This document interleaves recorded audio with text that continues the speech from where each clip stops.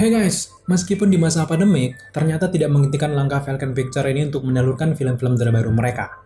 Film berjudul Yang Tak Tergantikan ternyata baru saja dirilis kemarin di 15 Januari 2021 di layanan streaming Disney Plus Hotstar.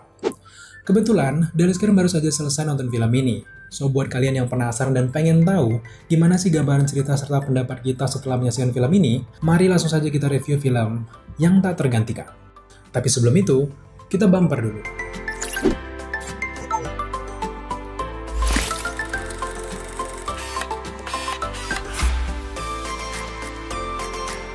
Yang tak tergantikan disutradarai oleh Herwin Novianto dan dibintangi oleh artis senior Lulu Tobing bersama dengan Dewa Dayana, Yasamen Jesem, dan juga Mei Sakana. Film ini sendiri berkisah tentang seorang ibu tunggal bersama Aryati yang diperankan oleh Lulu Tobing yang tinggal bersama tiga orang anaknya yaitu Bayu, Tika, dan juga Kinanti.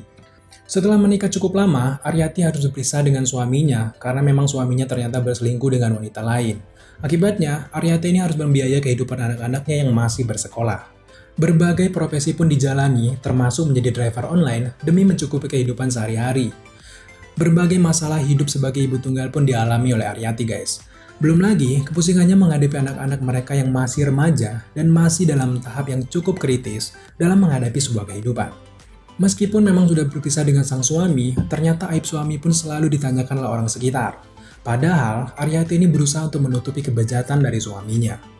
Namun kelakuan suaminya ini masih saja berdampak dengan keluarga Aryati yang sudah lepas hubungan dengan mantan suaminya itu. Selain permasalahan keuangan, permasalahan kenakalan anak-anaknya yang butuh bimbingan kedua orang tua ini juga dihadapi dengan sangat rumit oleh Aryati. Belum lagi anak-anaknya terus menanyakan kapan dia bisa kembali bersama ayah mereka. Apalagi anak bungsu mereka Kinanti juga masih sangat ingin keluarga mereka bersatu kembali. Cobaan demi cobaan harus dilewati oleh Aryati agar keluarga mereka ini baik-baik saja, Nah, di masa-masa berat ini juga ada banyak sekali pelajaran yang ia dapat dalam menyelesaikan masalah ataupun membimbing anak-anaknya. Dari awal hingga filmnya berakhir, kita akan disajikan alur cerita panjang tentang seorang Aryati yang sangat kuat dan juga sabar dalam mempertahankan keberlangsungan hidup keluarganya. Secara keseluruhan, film ini memberikan pelajaran hidup yang sangat bermanfaat kepada para penontonnya. Sebagai film keluarga, dialog-dialog dan momen-momennya juga sangat relate dengan apa yang terjadi dengan keluarga-keluarga yang ada di Indonesia. Terkhusus untuk keluarga yang harus rusak akibat perceraian, film ini mengajarkan untuk kita tetap semangat dalam menjalani hidup. Meskipun pahit di awal, tentu akan manis nanti pada akhirnya. Film ini juga berusaha memperlihatkan berbagai tradisi di dalam keluarga yang mungkin sudah sangat jarang dilakukan di Indonesia. Contohnya saja seperti makan bersama, saling curhat antara anak dan juga orang tua, hingga tradisi berpelukan yang sangat menguatkan. Kabarnya film yang tak tergantikan ini terinspirasi dari film Ibunda karya Teguh Karya, tapi memang keseluruhannya, ceritanya berpusat pada perjuangan seorang ibu yang tidak pernah menyerah memikirkan masa depan anak-anaknya. Film ini sangat cocok untuk kalian tonton bersama keluarga, apalagi rilis film ini di layanan streaming. Tampaknya dari awal memang film ini dibuat untuk hadir di layanan streaming saja. Kabarnya syuting film ini juga cukup cepat, hanya memakan waktu 11 hari saja.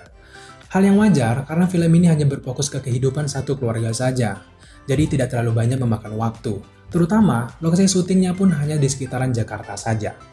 Yang Deliskin suka dari film ini, selain banyak pesan-pesan moral yang berusaha disampaikan, juga hadirnya karakter-karakter pendukung yang mampu mencarikan suasana-suasana keluarga Aryati. Salah satunya tentu saja Babe Ucup.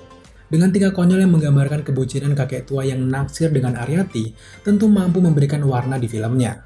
Meskipun tampil tidak terlalu banyak, Babe Ucup menjadi salah satu karakter yang paling kita ingat setelah menyaksikan film ini.